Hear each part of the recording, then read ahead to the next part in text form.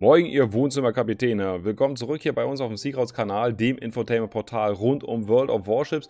Und heute wollen wir euch in der Folge im Trockendock hier die Bourgogne vorstellen. Ein Stahlschiff sozusagen, welches im Arsenal für 30.000 Stahl aktuell zu bekommen ist, wenn man dann fleißig genug in Clan Wars oder in gewetteten Gefechten war oder eben an dem Winter-Event teilgenommen hat, war diese, also war 2018 in 2019 eben da war. Da konnte man ja auch Stahl mitnehmen. Wie gesagt, 30.000 Stahl ist nötig und dann bekommt ihr hier sozusagen eine deutlich aufgebesserte Version der Alsace sozusagen in Hafen gestellt. Wo sie besser ist, wo sie sich unterscheiden, das wollen wir heute mit euch zusammen hier erarbeiten. Und wie ihr das schon gewohnt seid, fangen wir zuerst mit der Geschichte an. Ich habe es eben schon namentlich erwähnt. Es ist ein Schiff der Alsace-Klasse, deutlich zu erkennen. Zwei Türme vorne, ein Turm hinten. Jeder Turm hat vier äh, Rohre. Das ist so typisch französisch dann auch. Und ja, ihr wisst selber, die Alsace-Klasse wurde nie tatsächlich angefangen zu bauen. Es gab dafür Pläne. 1941 sollte die erste, das erste Schiff gebaut werden. Das soll äh, auf Kiel gelegt werden, besser gesagt. Ähm, und das sollte die Alsace werden. 1941 war das aber dann nicht mehr wirklich möglich. Das wurde alles abgeblasen, weil eben äh, Frankreich erobert wurde und äh, damit die Ressourcen anderweitig verwendet wurden. Wie ist dieses äh, Schiff jetzt hier ins Spiel integriert worden? Und ähm, damit fangen wir jetzt an und wollen, wie gesagt, die Alsace als Pendant Forschungsbaumschiff so ein bisschen dagegenhalten und einfach mal gucken, was wir da an Unterschieden feststellen können. Wir fangen oben an und das ist gleich, kann man sagen. Trefferpunkte und Torpedoschadensvariierung. Ihr seht es, 74.700 Torpedoschadensvariierung, 44%. Das sind die gleichen identischen Werte bei beiden Schiffen. Ich rede bei der Alsace immer von der top ausgebauten Version, also nicht die Basisversion äh, nehmen, sondern ist immer dann der beste Rumpf eingebaut, die beste Feuerleitanlage, die besten Geschütze, wenn sie denn da ausbaubar wären. Also, das ist äh, schon mal gleich geblieben und das setzt uns doch schon mal so ein Ausrufezeichen, denn die Alsace ist ein T9-Schiff und die Bourgogne ist ein T10-Schiff und die haben trotzdem die gleichen Trefferpunkte. Das macht die Bourgogne zum schlechtesten Schiff auf T10 in Sachen Trefferpunkte. Also ihr habt die niedrigste Trefferpunkteanzahl eines T10-Schiffs im Spiel überhaupt. Das kann man sich gleich schon mal merken und ähm, das äh, führt dann auch im, äh, im, weiteren Verlauf des Videos zu äh, äh Überlegungen, sagen wir mal so. Ähm, der nächste Punkt ist dann die Panzerung, die auch weitestgehend, oder ich habe keine großen Unterschiede gefunden, äh, von der Panzerung her gleich sind. Wir haben hier vorne, hinten an der Seite, auf dem Deck, überall haben wir 32 mm. Und äh, das bringt uns zu zwei Punkten, die sie Alsace relativ verwundbar macht. Zum einen ist sie Overmatch anfällig und zwar gegen 460 mm Geschütze äh, von der Yamato und Musashi. Ähm, das heißt, der, ähm, der Aufschlagwinkel des Projektils wird eben ignoriert und die Munition fliegt durch die Panzerung durch und macht da drinnen dann äh, Disco oder wie auch immer man das bezeichnen möchte. Also hinterlässt einiges an Schaden. Die Sektion wird auf jeden Fall penetriert und ob es dann halt weiter reingeht, muss man dann sehen. Und zum Zweiten ist das natürlich ein Problem, wenn der Gegner IFAE geskillt ist und 152 mm äh, HE verschießt oder 203 mm HE verschießt. Da braucht der Gegner dann nicht mal mehr IFAE, weil der kommt da sowieso durch eure Panzerung durch. Und zwar überall auf dem Schiff, von hinten bis, äh, von vorne bis ganz nach hinten. Ähm, kommt ihr da, kommt, äh, habt ihr immer Probleme, äh, dass ihr da eben penetriert werden könnt, ohne große Mühe. Und HE ignoriert die Aufprallwinkel im weitesten Sinne und äh, lässt halt immer ein bisschen Schaden übrig, wenn der penetriert werden konnte. Also das ist äh, wirklich eine bittere Geschichte äh, und dafür seid ihr extremst anfällig. Wenn wir dann unter den Rock gucken, dann sehen wir darunter eine ähm, ja, Turtleback-Anordnung der Panzerung sozusagen. Wir haben hier draußen 350 mm, wir haben hier unterm Rock innen 50 mm und im Rock drin sozusagen die Zitadelle mit 50 mm. Da haben wir dann also in Summe mit der äußeren äh, Panzerung hier von 32 mm 482 mm, euch im maximalsten oder im besten Fall schützen können, nämlich vor Zitadellentreffer der Gegner. Und das ist nicht viel, das zeige ich euch gleich. Das ist wirklich anstrengend teilweise, ähm, wenn ihr Spieler habt, die wissen, was sie tun auf der anderen Seite, dann äh, und ihr nicht ganz aufmerksam seid, ähm, und den hinteren Turm eben mal nicht vergesst, weil das solltet ihr in der Regel tun bei der Bourgogne, ähm, dann ja, hagelt ganz schnell Zitadellen gegen euch und dann seid ihr ganz schnell raus aus dem Spiel. Ähm, wir können uns hier noch die anderen Panzerungen angucken. Wir haben hier 250 und 370 mm und wir haben dann hier hinten nochmal 250, 250 Ähm, dann gibt es hier oben noch eine Deckspanzerung von 32, wie gesagt. Dann nehme ich das Deck weg. Darunter sind es dann nochmal 190 respektive 170 mm. Wenn ich die Kasematte dann noch abbaue und hier oben mal äh, die komischen Aufbauten ausblende, dann haben wir hier nochmal 40 mm. Also auch äh, da ist sie nicht schlecht, aber sie ist auch nicht super, super hart, muss man ganz klar sagen. Äh, so eine Schiffe, über die gerne geschimpft wird, sind ja zum Beispiel Izumo und Friedrich der Große. Und Friedrich der Große und Izumo sind beide besser auf dem Deck gepanzert als hier die Bourgogne, obwohl die Izumo und der Friedrich die neuen Schiffe sind und äh, wir hier bei der Bourgogne eben ein T10-Schiff haben. Also so viel dann mal zu der Bedeutung der Panzerung bei dem Schiff. Das äh, soll es dazu gewesen sein und ähm, doch, eine Sache möchte ich euch noch mitteilen. Äh, das passt ganz gut. Ähm, zur Panzerung nämlich. Ja, wir hatten ja eben 482 mm, wenn ihr von der Seite beschossen werdet, äh, genannt als äh, Durchdringung oder das, was durchdrungen werden muss, bis bei euch eine Zitadelle äh, getroffen wird. Äh, wer kann denn dazu? Ja, ihr habt ja, ihr seid ein T10-Schiff, also Top-Tier in der Regel. Ähm, und ähm, also nicht in der Regel, sondern eigentlich immer. Ja. Äh, die Republik, die schießt auf 22 Kilometer und durchdringt dann 482 Millimeter. Die Yamato macht es auf 23,4 Kilometer und die Missouri auf 18,4, der große Kurfürst auf 20, ja. Dann kommt, äh, also mit den großen Kalonen. Ne? Ähm, das ist also eine ganz ordentliche Sache. Äh, das heißt, ihr seid großer Distanz schon leicht ähm, zu Zitadellen. Äh, wenn, der, wenn die Spieler denn wissen, was sie tun und ihr eben euch auch so anbietet, sage ich jetzt einfach mal. Aber das ist schon mal nice to know. 482 mm sind unter Laborbedingungen auf den Kilometerdistanzen eben zu penetrieren. Ähm, das heißt, auch diesen Schiffen müsst ihr am besten nur die Front zeigen und wie gesagt, bei Musashi und Yamato nützt das gar nicht mal so viel. Nächster Punkt ist dann die Artillerie. Hm, wir hatten eben schon dazu was gesagt. Wir haben hier vorne zwei Türme, hinten ein Turm, jeweils vier Rohre. Jeder, jedes Rohr hat 380 mm Kaliber. Die Bourgogne äh, schießt 24,8 Kilometer weit, die Alsace nur 20,3 und hat im ausgebauten Modus. Ähm, die Nachladezeit bei der Bourgogne ist 4 Sekunden besser mit 28 Sekunden, die Alsace halt nach Adam Riese 32 Sekunden. Die Turmdrehzeit ist identisch mit 36 Sekunden. Die HE und AP-Granaten, die blende ich euch gerade mal ein, die muss ich euch nicht unbedingt vorlesen. Die sind komplett identisch, ja, auf beiden Schiffen, alle Geschwindigkeiten, alle Alpha-Schadenswerte, Penetrationsstärken und so weiter. Ein Sechstel Penetration bei den Franzosen bei HE. Aber wir haben dann Unterschiede, und zwar bei der horizontalen Streuung und beim Sigma-Wert. Fangen wir zuerst mit dem Sigma-Wert an. Die Bourgogne hat 1,8 bekommen, während die Alsace vor einiger Zeit mal genervt wurde auf 1,6. Dann haben wir die horizontale Streuung bei der Bourgogne mit 309 Meter angegeben. Und da denkt man ja, oh Gott, oh Gott, die Alsace, die hat ja viel äh, weniger. Das ist nicht ganz korrekt, denn das wird immer auf die maximale Kampfentfernung angegeben. Das heißt, 309 Meter äh, ähm, ist quasi die, die Streuung, die maximal möglich ist, wenn man 24,8 Kilometer weit schießt. Um das vergleichen zu können, müssen wir das ja runterrechnen. Und bei 20,3 Kilometer hat die Bourgogne rein rechnerisch eine Streuung von 253 Meter im maximalsten Fall. Ja, da ist die Alsace bei 264 Meter und damit ist da ganz klar der Richtungszeig. Die Bourgogne ist das deutlich genauere Schiff. Besserer Sigma-Wert, das heißt die Vermittlung der äh, Munition der abgefeuerten Projektile in Richtung Visier, dahin, wo man tatsächlich gezielt hat. Und dann natürlich noch die Streuung an sich ist einfach, die Streuungsellipse ist einfach kleiner. Das äh, ist also auf jeden Fall schon mal gut zu wissen. Was könnt ihr denn mit eurer AP-Munition so penetrieren? Also die Bourgogne, die schießt ja 24,8 und da trefft ihr oder durchschlagt ihr 384 mm. Auf 20 Kilometer durchschlagt ihr 425, auf 15 489 und auf 10 Kilometer 569 mm. Also da ist dann auch äh, ja, bei nah Nahkämpfen ein ordentlicher Hammer hinter euren Rohren ähm, und das wird ganz schön Eindruck auf vielen Schiffen machen. Vor allen Dingen Kreuzer werden sich richtig krass äh, ähm, freuen, äh, denn die können auch mal ganz schnell gewonnen-hittet werden, wenn eure Munition richtig trifft. Und dann habt ihr ja dazu noch euer, eure Hauptbatterie-Nachladebeschleunigung und so eine Sachen. Also das ist schon nettes Spielzeug. Die AP-Munition hat die Standardabprallwinkel 0 bis 30 Grad Standardabprall, immer, egal ob 29,9 oder was weiß ich. Ab 30,001 Grad bis äh, 45 Grad ist eine Abprallchance, also ihr könnt mal penetrieren, mal eben nicht.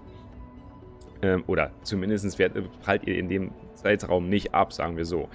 Wenn ihr dann äh, nicht abprallt, dann müsst ihr 63 mm Panzerung durchschlagen und dann gibt es eine Zündverzögerung bei der AP-Munition von 0,033 Sekunden, also der Standard-Zündverzögerer für Schlachtschiff-Munition.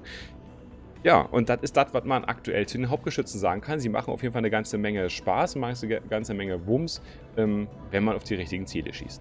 Dann geht es in die Sekundärbewaffnung. Bei der Sekundärbewaffnung gibt es Unterschiede zur Alsas. Die Alsas hat 100 mm Kanonen, nämlich 12 x 2, während die Bourgogne nur 8 x 2 127 hat. Jetzt, hat man, jetzt haben wir mehr Kaliber, ja, aber weniger Geschütze. Und dafür penetrieren wir eben 20 mm äh, mit den HE-Granaten. Das ist ein wichtiger Wert, denn 19 mm ist ungefähr das, was äh, an Panzerung auf einem Zerstörer existiert. Und damit liegen wir da genau drüber. Bei den 100 mm liegen wir da sogar noch drunter. Ja, also das bedeutet, ihr könnt mit der Alsas Zerstörer nicht mal, wenn sie aufgehen, mit der Sekundär vernünftig bekämpfen. Also mit den, mit den kleineren Geschützen, besser gesagt, bekämpfen. Sondern dafür braucht ihr schon die Bourgogne oder ihr müsst in IFAE skillen. Ja, das sind die beiden Varianten. Und dann gibt es äh, hier auf der Bourgogne noch 3x3, äh, also drei Geschütze, A3 Rohre. Ihr seht sie hier vorne. Ja, hier sind äh, nach vorne ist ein Geschütz und nach hinten sind eben zwei Geschütze, 152 mm. Ähm, die sind besser als bei der Alsas, weil hier nämlich eine Ladezeit von 8 Sekunden anliegt, während die Alsas eben 12 Sekunden benötigt, um diese Geschütze nachzuladen. Die Penetrationskraft ist natürlich entsprechend höher und die Feuerreichweite der ganzen Sekundär beträgt 7,5 Kilometer ungeskillt, also Standardwert sozusagen. Ähm, Basiswert, darauf richtet sich alles aus. Ihr seid in der Lage, eure Sekundärreichweite auf 11,3 Kilometer auszubauen und ähm, ja, damit dann auch ein bisschen Fratzencover zu machen. Aber ich muss ganz klar warnen davor, es ist ein bisschen anstrengend. Man muss wirklich IFAE geskillt haben, um vernünftig Schaden mit den französischen Schlachtschiffen in Sachen Sekundär zu machen. Ähm, weil einfach nicht so viele Schiffe äh, unter 20 mm Panzerung haben und ihr vor allen Dingen müsst halt auch gucken wegen der Streuung und so weiter. Da gilt einiges, äh, gilt einiges einzubauen, ähm, um die Sekundär wirklich effektiv auf so einem französischen Schlachtschiff nutzen zu können. Der nächste Punkt ist dann die Flugabwehr und bei der Flugabwehr haben wir wieder einen ganz klaren Plus und einen ganz klaren Richtungszeig bei dieser Bourgogne, denn äh, die ist ja eine der stärksten Flugabwehr-Einrichtungen ähm, oder ähm, äh, am besten mit Flugabwehr ausgerichtet äh, oder ausgestattet auf T10 kann man sagen. Der Wert von 84 ist der Hammer. Wir haben eine Flugabwehrreichweite von 6 Kilometer für die Langstrecke, äh, bis 3,8 für die Mittelstrecke und bis 1,5 für die Kurzstrecke. Die, die, Werte sind wirklich, wirklich gut. Ähm, die Anzahl der Explosionen ist auch spaßig. Also ich sage jetzt einfach mal so, äh, ich als ähm, Trägerpilot fliegt die Bourgogne nicht besonders gerne an, um es mal so auszudrücken. Äh, das heißt, sie lässt, hinterlässt bleibenden Eindruck an meinen Flugzeugen. Und äh, eure Matrosen können schnell mal eine Tragfläche als Andenken mitnehmen.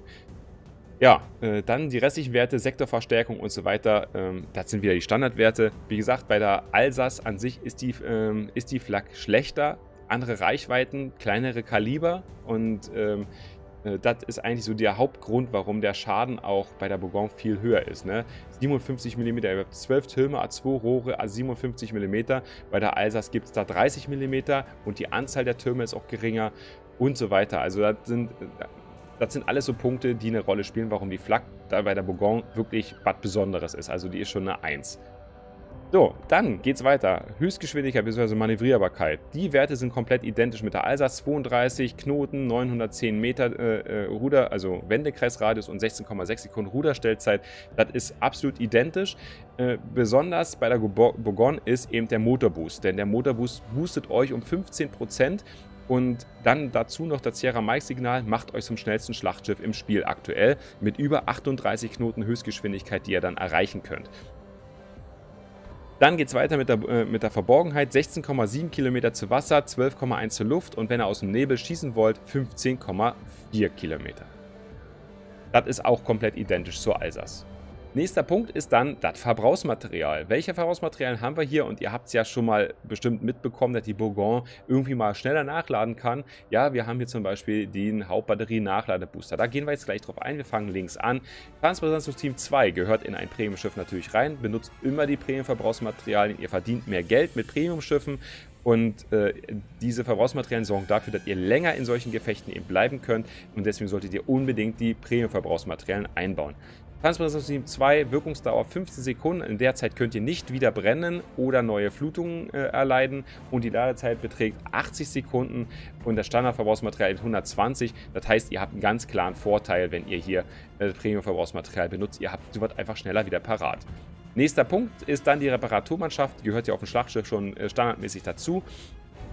Und ihr repariert hier in 28 Sekunden 373 Trefferpunkte pro Sekunde. Das ist ein Gesamtwert von 10.444 Trefferpunkten, die ihr wiederherstellt nach 28 Sekunden. Ist natürlich der Optimalwert, das heißt, ihr müsst genug äh, Potenzial haben, an Trefferpunkten wiederherzustellen. Also nach Bränden, nach Flutungen ist sowas immer am besten möglich. Ja, mm, es gibt dann hier auch Aufladungen. Standardreparaturmannschaft eben 3 und bei dem Premium-Verbrauchsmaterial habt ihr 4 Aufladungen. Wenn wir diese ganze Sache äh, verbessern mit der Signalflagge, dann kommen wir hier auf 448 Trefferpunkte pro Sekunde, die ihr wiederherstellt. Das heißt, ein Gesamtwert von 12.544 Punkten, die ihr wiederherstellen könnt, was dann schon eine ganz ordentliche Geschichte ist. Nächster Punkt ist dann die Hauptbatterie, der Hauptbatterie-Nachladebooster, der eure Nachladezeit äh, der Hauptbatterie um 50% reduziert. Ihr habt standardmäßig 28 Sekunden, also ungepimpt habt ihr dann 14 Sekunden für diesen Zeitraum. Die Wirkungsdauer des Verbrauchsmaterials beträgt 20 Sekunden und die Ladezeit eben 2 Minuten beim ähm, äh, beim Premium-Verbrauchsmaterial und 3 Minuten beim Standardverbrauchsmaterial. Ladung 3 respektive eben 4. Und dann haben wir hier den Motorboost 1 und 2, wo ihr dann 15% mehr Höchstgeschwindigkeit erreichen könnt. Normalerweise hat der Motorboost 7 oder 8% standardmäßig. Das heißt, die Alsace kommt auch gar nicht da mit, äh, weil sie nämlich den Standard-Motorboost hat. Und ihr habt hier einfach ein bisschen mehr Gummi, was ihr da geben könnt oder ein paar Kohlen mehr. Ja, äh, bei Back to the Future, so ein Superpack, was er da reinwerft und dann raucht der Schornstein blau oder grün oder wie auch immer. Nein, ist nur Spaß. Also wie gesagt, äh, ihr könnt da ordentlich durch die Wellen flügen. Für ein Schlachtschiff richtig heftig. Also Wirkungsdauer 3 Minuten, äh, Ladezeit 120 respektive 90 Sekunden, 2 respektive 3 Aufladungen. Und jetzt kommen wir zu den Verbesserungen, die ihr hier in das Schlachtschiff einbauen solltet oder könnt. Fangen wir vorne an. Äh, da gibt es äh, dann eigentlich nur zwei Auswahlmöglichkeiten. Die Hauptbewaffnungsmodifikation 1 oder eben das Schadensbegrenzungssystem-Modifikationsding, was die Wirkungsdauer des äh, Schadensbegrenzungsteams um 40% verlängert. Wir gucken jetzt nochmal, das wirkt standardmäßig eben 15 Sekunden und ihr kriegt dann quasi fast das Doppelte drauf. Das heißt, dann ist es wahrscheinlich 22 Sekunden. Äh, das war jetzt hier vorher eingebaut, deswegen baue ich das jetzt hier wieder ein. Äh, die einzige Alternative, wenn ihr dieses Modul nicht einbauen wollt, ist eben die Hauptbewaffnungsmodifikation 1. Meiner Meinung nach sogar die sinnvollere Variante, weil einfach die Überlebensfähigkeit der Hauptbatterie und äh, ja eigentlich auch der Torpedowerfer, die ihr nicht habt, also geht es nur um die Hauptbatterie, hier eben erhöht und deswegen solltet ihr meiner Meinung nach das sinnvollerweise einbauen. Wie gesagt, Schadensbegrenzungsteam, das heißt, äh, ihr, das ist jetzt länger aktiv. Ne? Das heißt, jetzt sind es 21 Sekunden. Das heißt, man hat schon ordentlich was an Zeit gewonnen, in der ihr nicht wieder brennen könnt oder nicht wieder Flutung erleiden könnt. Ne? Also in der Beziehung muss man ganz klar sagen, äh, ist die Wahl schon keine schlechte. Dann äh, geht es in Slot 2 und in Slot 2 habt ihr entweder das Schadensbegrenzungssystem-Modifikationstool, ja, um einfach weniger schnell zu brennen oder eben äh, Wassereinbrüche zu erleiden oder ihr entscheidet euch für die Motorboost-Modifikation, weil die sich nämlich nochmal um 50% verlängert. Ihr habt ja schon 3 Minuten, danach habt ihr 4,5 Minuten Motorboost. Das müsst ihr euch überlegen. Nur diese beiden Punkte machen hier aktuell Sinn. Äh, ich baue jetzt hier die Motorboost-Modifikation ein. Ich mache einfach ein Sportboot draus. Und ähm, ja, wie gesagt, die andere Variante ist genauso sinnvoll, wenn es um Survive-Skill geht. Dann bauen wir hier die äh, Zielsystemmodifikation ein, um einfach ein bisschen mehr Streuung zu reduzieren. Äh, das würde ich als primäre Möglichkeit mh, hm, ja, vorschlagen. Die zweite Chance ist aktuell hier einen Flakdampfer draus zu machen. Nicht nur aktuell, sondern es ist einfach so, dass die Flak äh, auf dem Dampfer sehr, sehr stark ist und ihr könntet damit nochmal weiter erhöhen, um Explosionen in der Mittel- und Kurzstrecke, äh, in der Mittel- und Langstrecke, so rum. Und äh, das macht die Effizienz natürlich nochmal deutlich ähm, höher. Hm, ja, wie gesagt, das ist so die zweite Wahl. Die dritte Wahl ist für mich ein Sekundärbild. Erst aufgrund dessen, weil ich vorhin schon sagte, die Penetrationsstärke der Sekundärbatterien bei den Franzosen ist einfach nicht so hoch. Ihr könnt zwar schön weit schießen und bei der Republik sogar noch weiter schießen und so weiter, aber die Penetrationsstärke ist einfach nicht so gegeben. Ihr müsst eine Menge an äh, Kapitänskills investieren, damit der Sekundärbild überhaupt sinnvoll ja, umgesetzt werden kann. Darum hier Zielsystemmodifikation. So, nächster Punkt ist dann hier ähm, Survive, also Schadensbegrenzungssystem Modifikation 2. Einfach, wenn ihr brennt, kürzer brennen. Wenn ihr Wassereinbruch habt, ist der schneller behoben. Ähm, das würde ich auf jeden Fall bei dem Schiff mitnehmen, aufgrund der äh, Panzerungsstruktur, was ich vorhin schon gesagt habe. Ihr werdet gerne beschossen mit HE-Granaten und solche Sachen. Alternativ dazu solltet ihr euch überlegen, das Steuergetriebe einzubauen, da ihr damit die Ruderstellzeit eben runterbekommt. Antriebsmodifikation macht meiner Meinung nach nicht so viel Sinn oder ist hier nur die dritte Wahl, weil ihr selten äh, eigentlich... Ähm, so richtig steht, sage ich jetzt einfach mal. Ihr solltet schon gucken, dass ihr dann ähm, ähm, ja, einfach mobil bleibt, um die Geschwindigkeit auszunutzen. Ihr habt einen, tollen Motorboost und ihr könnt den auch noch verlängern. Also solltet ihr gucken, dass ihr dann halt die Flexibilität so ein bisschen nutzt. Ich persönlich würde hier auf jeden Fall als zweite Option eher das Steuergetriebe empfehlen. In Slot 5 äh, gibt es jetzt äh, zwei Herangehensweisen. Ich würde hier persönlich die Tarnsystemmodifikation einbauen, weil wenn ich Survive skille, dann möchte ich natürlich auch weniger weit aufgehen. Man kann aber auch sagen, okay, äh, meine, meine Interpretation ist die Zielsystemmodifikation deswegen, weil ich will ja auch früher erkennen, wo Torpedos zum Beispiel sind und so eine Sachen. Und äh, das hilft mir auch beim Survive. Wir bauen jetzt einfach hier mal die Zielsystemerfassung ein. Wie gesagt, das ist einfach eine, eine, eine Frage dessen, was da am sinnvollsten ist, ja. Äh, wenn ihr weit nach vorne fahrt, weil ihr ein Sekundärbild macht, ne, ist ihr Zielerfassungssystem sogar Pflicht. Das macht äh, ähm, da einen besseren Job, als wenn ihr das Tarnsystem äh, skillt. Wenn ihr aber eher auf Survive geht, ist eigentlich ihr Tarnsystem ein, besseres, ein besserer Punkt. Ähm, ich will jetzt gerade die Kohle dafür nicht ausgeben, deswegen gebe ich jetzt, lasse ich das Tarnsystem jetzt hier einfach mal beiseite. Ähm, es ist einfach mal nice to know für euch. Tarnsystem für Survive Skill ist definitiv der, die bessere Wahl als Zielerfassungssystem. Ist meine Meinung. Und in Slot 5, äh, in Slot 6, Entschuldigung, gibt es zwei Möglichkeiten, die ihr hier einbauen solltet, die sinnvoll sind. Entweder ihr baut die Hauptbewaffnungsmodifikation 3 ein, die eure Ladezeit der Hauptbatterie weiter reduziert und dafür die Drehgeschwindigkeit verringert. Das heißt, ihr braucht länger, um die Türme auszurichten. Dem könnt ihr entgegenskillen, nämlich mit dem, eurem Kapitän und dann habt ihr die Zeit wieder raus. Das ist für mich die allersinnvollste Variante. Die nächste Variante ist dann wie, äh, ähnlich wie bei Slot 3 die Flakbewaffnung, die dann einfach den kontinuierlichen Schaden im äh, Kurz-, Mittel- und Langstreckenbereich einfach um 15% erhöht. Und die, euer Schaden ist schon richtig gut. Das heißt, die Flugzeuge, die euch anfliegen, sind noch schneller platt. Die müssen weiter zu eurem Schiff schwimmen, um sich zu retten, sozusagen. Ähm, ja, hier Feuerreichweite mehr als 24,8 braucht ihr nicht. Und sekundär, das sind 20% Ladezeit der Sekundär, ist auch die Frage, macht das Sinn? Am meisten Schaden macht ihr immer noch mit den Hauptgeschützen. Äh, von daher ist das eigentlich die Top-Wahl. Wie gesagt, äh, ich habe jetzt hier so ein bisschen alternativ die Module eingebaut. Das ist äh, meine Optimalwahl, die habe ich persönlich eben gerade schon gesagt. Hier müsste auch der Tarnungsmeister rein. Und äh, hier vorne könnte durchaus auch das Schadensbegrenzungssystemmodifikationsding Sinn machen. Gut, dann kommen wir zum äußeren Bereich.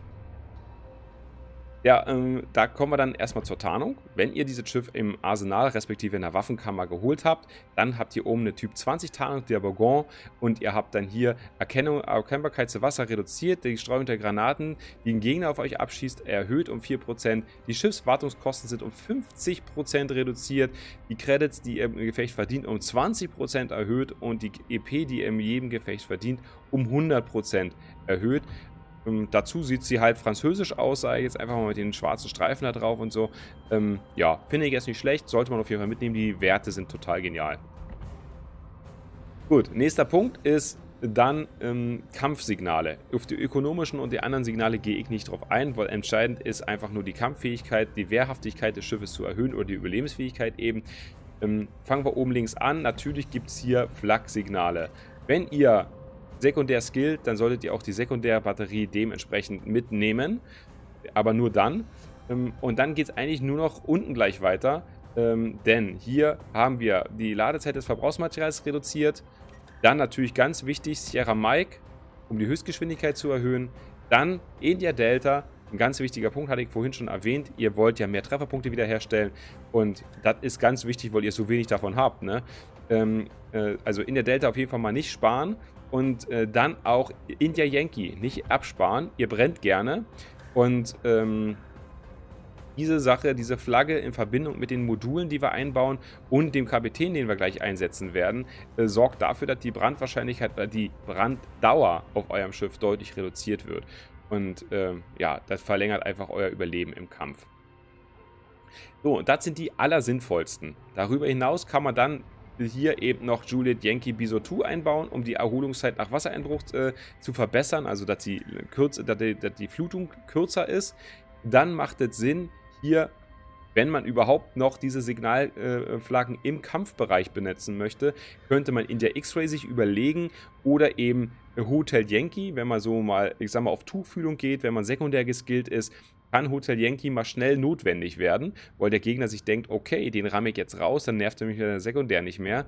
Äh, und weil er halt vielleicht einschätzt und sagt, okay, ich habe mehr Trefferpunkte als der Gegner, wie auch immer, dann wird man halt eben nicht so versenkt. Und in dem Fall ähm, würde der Hotel Yankee eben äh, euch helfen und ihr würdet das eben überleben. Oder sagen wir mal eher überleben. Ne? Ähm, das sind eigentlich die sinnvollsten Signale, die man hier noch mit einbauen kann. Ähm, ja, wie ihr es dann genau anordnet, ist das natürlich komplett euch überlassen. Flaggen brauchen wir uns gar nicht groß angucken. Da gibt es keine Flaggen, die irgendwie besonders äh, jetzt dem Schiff helfen. Und dann kommen wir zu den Kapitänen, äh, den wir hier einbauen. Das ist nämlich ein Sonderkapitän, den Henri, äh, wenn ich ihn jetzt richtig betont habe. Und so ist er geskillt. Ähm, so ähm, ist diese Variante. Hier werden beide Bonus-Skillungen mitgenommen, nämlich der bessere Adrenalinrausch und eben der bessere Elite-Schütze. Eure äh, Turmdrehzeit wird damit wieder auf 33,6 Sekunden runtergebracht, nachdem wir mit dem Modul 6 vorhin ja die Turmdrehzeit erhöht haben, aber dafür die Ladezeit verringert. Ne? Wir sind jetzt durch dieses Modul 6 bei 24,6 Sekunden Ladezeit anstatt von 8, bei 28 Sekunden und durch den Kapitän haben wir jetzt halt auch wieder die Turmdrehzeit runtergebracht und äh, sind da jetzt bei 33,6 Sekunden, was wieder sehr, sehr angenehm ist, sogar besser als der Stockwert, also der Standardwert. Dann würde ich hier oben empfehlen, äh, als erstes würde ich eigentlich äh, vorrangiges Ziel empfehlen. Es ist immer gut zu wissen, wie viele Gegner auf euch zielen. Und in der Zwe äh, als zweites kann man hier, als Variante 2 sozusagen, kann man hier präventive Maßnahmen skillen. Ich würde hier 1000 Sasser und ähm, höchste Alarmbereitschaft nicht skillen, ähm, ich würde mir das überlegen und äh, was anderes, also bevorzugt würde ich hier was anderes machen. Nachdem Elite-Schütze und Adrenalinrausch hier schon drin ist, würde ich auf jeden Fall Grundlagen der Überlebensfähigkeit und Brandschutz skillen. Dann macht, in, äh, macht der Inspekteur definitiv auch noch eine ganze Menge Sinn. Und dann haben wir noch vier Skillpunkte übrig, wenn wir diese Sachen hier nicht skillen. Und die würde ich wahrscheinlich auf den Tarnungsmeister setzen. Ähm, das ist eigentlich eine sinnvolle Sache. Oder ähm, äh, man kann eben diese Sachen ja, zum Teil eben drinnen lassen oder hier oben mehrere Sachen mit dem Umladen, zum Beispiel Ladeexperte, dass ihr schneller zwischen AP und HE wechseln könnt, gerade wenn ihr häufiger vorne steht, zum Beispiel eben nutzen. Wenn ihr mit dem Survive-Bild an sich nicht so gut klarkommt oder sagt, ihr möchtet nicht Survive fahren, das ist was für Pussys, ja, dann ähm, gibt es hier natürlich die Variante der Flak-Geschichte. Dazu müsst ihr dann hier eben ein bisschen was beim Brandschutz oder ein bisschen was bei der Grundlage der Überlebensfähigkeit verändern und hier skillen, nämlich Schießgrundausbildung, erweiterte Schießausbildung oder verbesserte Schießausbildung und dann eben das manuelle Feuern der Flakbewaffnung. Das wäre, was äh, wichtig wäre, um die Flugabwehr deutlich, nochmal deutlich zu verbessern. Und dann gibt es ja noch die Sekundärvariante, die Sinn machen kann. Und da würdet ihr dann einfach auch wieder Schießgrundausbildung und verbesserte Schießausbildung skillen und dafür eben nicht das manuelle Feuern der Flakbewaffnung, eben das manuelle Feuern der Sekundärbewaffnung. Und ihr habt dann immer so einen Mitnahmeeffekt, wenn ihr auf Sekundär geht, äh, verbessert ihr gleichzeitig auch die Luftabwehr. Ne? Bloß dass eben hier das manuelle Feuern der Flakbewaffnung dann eben wegfällt. Ne? Müsst ihr dann halt selber entscheiden, was euch Priorität äh, bedeutet, sozusagen. Ne? Das ist eigentlich das, was man zu dem Kapitänskill sagen kann. Ich glaube, das ist schon äh, so ziemlich alles. Es gibt halt drei Varianten: Survive, Luftabwehr oder Flugabwehr, äh, Luftabwehr und Sekundär. In der Reihenfolge machen die Dinger eigentlich am meisten Sinn aus meiner Sicht. Wenn ihr da eine andere Meinung habt, könnt ihr die gerne konstruktiv hier unter das Video schreiben ähm, oder auch eure Erfahrung mal teilen. Wie war es denn mit der Bourgogne äh, oder mit der Alsace? Seht ihr das anders? Ist es wichtiger, dass die Alsace ähm, sekundär geskillt ist aus eurer Sicht. Wie dem auch immer sei, ich bin gespannt auf eure Meinung. So, und dann kommen wir zum Pro und Contra. Also, was ist hier besonders dran? Es ist das schnellste Schlachtschiff im Spiel. Es hat eine sehr gute Torpedoschadensverringerung von 44%, hat eine super geile Flak. Es hat äh, ein tolles Verbrauchsmaterial, ein spannendes Verbrauchsmaterial mit dem äh, Hauptbatterie-Nachladebeschleuniger ähm, und die Hauptgeschütze sind hier sowieso schon kürzer im Nachladen, also 28 Sekunden im Gegensatz zu dem T9 Alsace-Schiff mit 32 Sekunden. Ne? Ich würde so weit gehen, dass das Schiff hier definitiv die bessere Alsace ist. Und wenn ihr in einem T9-Gefecht landet und vielleicht das einzige T10 oder eins der wenigen T10-Schiffe seid, habt ihr super, super, super viel Spaß. Ihr werdet auch in T10-Gefechten ganz gut überleben können, wenn ihr euch an diese Alsace ein bisschen gewohnt habt. Wenn ihr die französischen Schiffe mögt, wird euch das nicht besonders schwer fallen. Es ist ein sehr, sehr ja, angenehm zu fahrendes Schiff eigentlich. Ne? Ist auch ein perfekter Trainer für eure französischen Kapitäne, wenn ihr sie noch in der Ausbildung habt oder so. Also in der Beziehung kann man wirklich sagen, das gibt schon eine Menge Pros bei dem Schiff. Was sind denn negative Punkte? Die negativen Punkte sind die Anzahl der Trefferpunkte. Ihr habt hier, wie gesagt, die niedrigsten Trefferpunkte auf der Tierstufe. 74.700 sind dann nur vorhanden. Ihr seid Overmatch-anfällig hier vorne, hatte ich vorhin erzählt. 460 mm gehen da ohne Probleme durch. Ihr habt ein Riesenproblem gegen HE-Spammer. Also wenn ihr fokussiert werdet von, keine Ahnung, Cleveland zum Beispiel oder Irian oder Kutuzov, so eine Sachen, die haben in der Regel immer EFAE e mit eingebaut und die durchdringen eure 32 mm Deckspanzerung und lassen da richtig was an Schaden ähm, äh, bei euch kleben. Und, oder sammeln bei euch schön Schaden ein, so könnte man das auch ausdrücken. Die Zita das hatte ich vorhin auch schon gezeigt. Die Zitadelle guckt aus dem Wasser raus. Äh, heißt, äh, diese 482 mm sind relativ schnell zu durchdringen. Und äh, dann, wenn es denn klappert, dann klappert es gleich richtig, weil die Zitadelle eben nicht unter Wasser äh, liegt. Ne? Ähm, ja, das ist eigentlich ähm, das, was man dazu sagen kann. Es ist ein besonderes Schiff man muss 30.000 Stahl erfahren. Ja, das ist wirklich noch so das, was man sagen muss, äh, äh, was da so ein bisschen ein, ein, ein, ja, ein Problem ist für sicherlich einige von euch da draußen. Nicht jeder ist im Clan organisiert, nicht jeder Clan äh, erfährt so viel Stahl oder man fährt so viel regel, äh, regelmäßig äh, World of Warships. Das sind ähm, halt äh, so eine, ja, so eine Sachen, die für euch ja, das vielleicht ein bisschen weniger attraktiv machen. Ich wollte das Schiff trotzdem unbedingt vorstellen, damit ihr, wenn ihr euch doch dazu entscheidet, das eine oder andere Stahlschiff zu kaufen, hier zumindest wisst, was euch erwartet. Ich persönlich finde die Bourgogne auf jeden Fall interessant. Die Alsace hat mir eine Menge Spaß gemacht in der alten Variante. Ja, in der neuen Variante mit diesem niedrigeren Sigma und so weiter macht die Alsace mir keinen Spaß. Ich habe sie verkauft, glaube ich sogar. Ähm, vielleicht überlege ich mir mal die Bourgogne äh, ähm, dann wieder häufiger zu benutzen. Und ähm, ja, das soll es eigentlich gewesen sein. Ich hoffe, ihr konntet euch mit dem Video wieder äh, einige Anhaltspunkte, einige Informationen äh, bieten. Und ähm, wenn dem so ist, würde ich mich sehr über ein Abonnement, über einen Daumen nach oben freuen. Auch gerne über einen Kommentar unten unter dem Video. Ähm, Kritik ist auch herzlich willkommen, solange sie konstruktiv ist. Schreibt es auch gerne, wie gesagt, unten in die Kommentare rein. Ich lese so gut wie jeden Kommentar. Und in dem Sinne, ich wünsche euch einen schönen Tag. Bis zum nächsten Mal hier auf unserem Seacoast-Kanal. Bis dahin, euer Andi, euer Maracher. Ciao, ciao.